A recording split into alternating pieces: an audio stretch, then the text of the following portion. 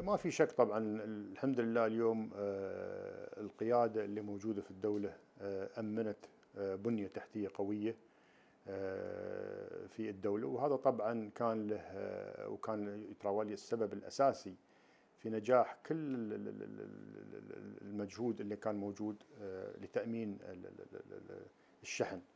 وطبعا ما في شك نحن كطيران الإمارات وجود بنية تحتية سواء كان في مطار دبي الدولي أو في مطار المكتوم ووجود الكباسيتي هذه اللي موجودة ساعدتنا كثير على أساس ان نأمن قطاع الشحن. وما في شك طبعا هذا كان له دور أساسي في في في الحفاظ على الناتج المحلي والاقتصاد بشكل عام وبالذات بما يتعلق طبعا بالشحن الأساسي سواء كان مواد غذائية أو أشياء تتعلق بالمواد الطبية اللي كانت المطلوبة خلال فترة الجائحة. وطبعا نحن من الأشياء الأساسية في تصوري أنا اللي دبي طبعا أثبتت دورها عالميا وجود البنية التحتية هذا أمن مسألة نقل الفاكسين لأغلب دول العالم وتأمينه بالشكل المناسب. لأن تعرف أنت اليوم أغلب ال vaccines المطلوبة في دول العالم الإشكالية الكبيرة اللي موجودة انه ما في بنية تحتية في أغلب دول الجوار وبالتالي تأمين ك distribution center هني موجود في دبي. نجيب الكميات الكبيرة هذه من ال vaccines. ومن خلال وجود الشبكة الموجودة طبعا لطيران الإمارات قدرنا نعمل تقريبا إرسال شحنات كميات أقل. للاستهلاك تقريبا اليومي لأغلب الدول هذه بما انه ما عندها البنية التحتية لتخزين الكميات هذه بصورة كبيرة وهذا طبعا ساعد دول كبيرة كثيرة طبعا في في أنها تحافظ على وجود الفاكسينز هذا وتأمينه لرعاية الدول هذه. فهذا كان طبعا دور كبير بالنسبة لنا نحن خلال الفترة هذه والحمد لله يعني قدرنا نتغلب على الأمور هذه كلها اللوجستية. ما في شك اليوم طبعا طيران الإمارات للشحن تعتبر طبعا من أكبر ناقلات الشحن الموجودة عالميا. وطبعا هذا بسبب وجود السعة الكافية اليوم. طبعا طيران الإمارات أغلب الرحلات اللي نسيرها نحن ما في أقل عن 777 أو اي 380 فوجود تقريبا 25 إلى إلى 50 طن على رحلات الركاب اللي نقدر نوفر على على كل رحلة.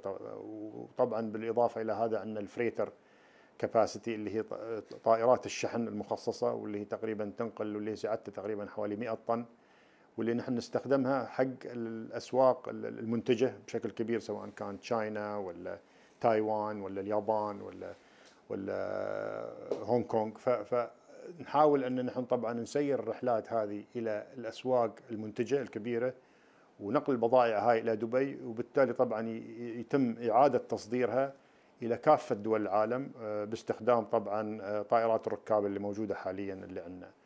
وطبعا ما في شك إن المنظومة هذه تعتبر قوية جدا بأنك أنت اليوم بإمكانك أنك عندك الكباسيتي اللي موجودة لأغلب دول العالم تقريبا بشكل يومي ومنتظم. وبالتالي هذا طبعا يعطينا الأولوية عالميا في اختيار طيران الإمارات كناقل أساسي للشحن. أنك أنت بإمكانك اليوم توفر نقل الشحنات هذه بشكل منتظم ودائم. وهذا طبعا في حد ذاته يعتبر إنجاز كبير للدولة ولشركة طيران الإمارات. وبإمكاننا نحن طبعا تأمين وجود البضائع هذه على حسب الأوقات المطلوبة لأغلب العملاء اللي نتعامل معاهم. والله طبعا نحن السنة الماضية تقريبا تم نقل ما يقارب حوالي مليونين طن من من الشحن وطبعا هذا يعتبر إنجاز كبير خلال فترة الجائحة لأن تعرف نحن عدد كبير من الطائرات اللي هي طائرات الركاب تم توقيفها خلال فترة الجائحة. فوصولنا إلى هذا الرقم طبعا كان في حد ذاته إنجاز كبير. طبعا الريفنيو اللي حققناه أو الدخل اللي حققناه من الشحن يقارب حوالي 17 مليار درهم خلال الفترة هذه. وهذا طبعا كان بزيادة حوالي 50% من السنة الماضية. فهذا يعني يوحي بأن طبعا آه، خلال فترة الجائحة كان كان إنجاز طيران الإمارات بتسيير رحلات الركاب واستغلالها خلال الفترة هاي لنقل البضائع آه، كان ناجح بكل المعايير وقدرنا الحمد لله آه، مثل ما قلت لك نأمن السعة المطلوبة لأغلب الأسواق ولأغلب الزبائن وعلى أساس أن عجلة الاقتصاد تتم ماشيه وما في أي توقف فيها خلال الفترة هذه. على صدد إن نحن شغالين على أمور كثيرة إن شاء الله لزيادة آه، سعة الشحن خلال الفترة المقبلة هذه. وشو الأشياء اللي نحن إن شاء الله بنقدر نأمنها لتوفير السعة هذه. ولكن ما في شك آه، الاقتصاد يترقب إن الفترة الجاية بيكون آه، الطلب على الشحن في تنامي مستمر.